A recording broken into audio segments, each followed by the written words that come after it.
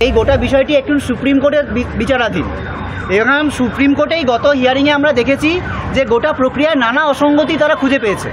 তো আমরা তো প্রথম থেকে মানে নানা বিষয়ে অসঙ্গতির জন্যই বিচার বিভাগীয় তদন্ত চেয়েছিলাম। সুপ্রিম কোর্টের ইন্টারভেনশন চেয়েছিলাম।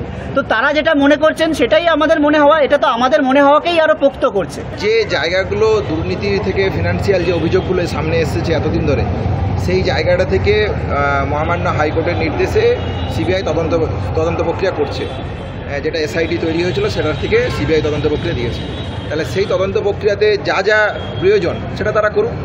যা মানে দুর্নীতির জন্য যা যা সমস্যা আছে সেগুলো সব প্রকাশ্যে আসুক। আমরা তো চাই পরিষ্কার আমরা চাই সব কিছু প্রকাশ্যে আসুক। তদন্ত প্রক্রিয়া চলুক।